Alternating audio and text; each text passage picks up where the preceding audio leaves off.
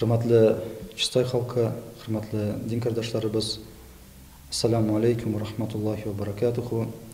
Енді альхамдулилля мына біз сіздің білән алла тағала насип етті ұшбу биік мұбарак айларда оразалар тұтабыз таравихларға ерейбіз изгі ғамалдар көбірек қылабыз рұқсат етегіз әрбіріңізді де ұшбу биік бәйрамыбыз белән тәбрикләргә аллаһы тәала һәрберегезгә дә аллаһы тәала безләргә йөкләгән вазифаларны сабырлык белән үтәп исән сау уразаларыбызны тотып аллаһы тәғәләгә якынайырга һәм тәкъвалыкка ирешергә раббым аллам насыйп ва миясәр иләсен иде.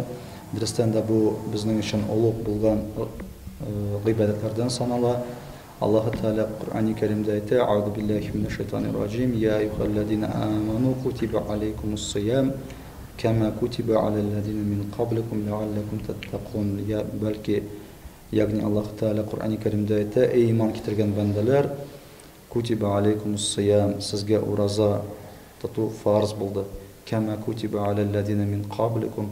Элекеге халыққа фарз болған кебек лааллакум таттақун бәлки шәт сіз тақвалыққа ирешесіз дей яғни енді исән кішіге ақылы болған кішіге дә енді мөмкинлеге булган кешегә ураза айында елына бер мәртәбә ураза тоту фарз һәрбез өчен дә иншалла.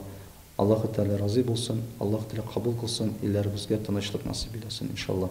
Уважаемые братья мусульмане уважаемые чистопольцы слава Аллаху Всевышнему у нас идет великий пост месяц Рамазан который олицетворяет собой терпение помощь другим.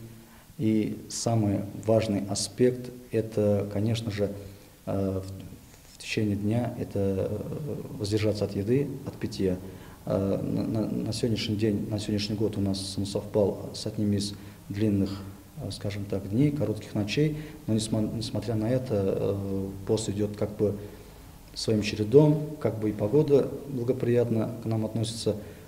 И в связи с этим хочу пожелать всем своим братьям, сестрам, матерям, отцам терпения, и отнестись серьезно, отнестись серьезно, серьезно к этому посту, так как э, этот месяц, это месяц не только воздержания от еды и питья, этот месяц также это терпение, это делать побольше благие дела, это помогать сиротам, бедным, побольше молиться, побольше, то есть приблизиться к Богу, к Аллаху Субхану Пусть Аллах нам всем поможет.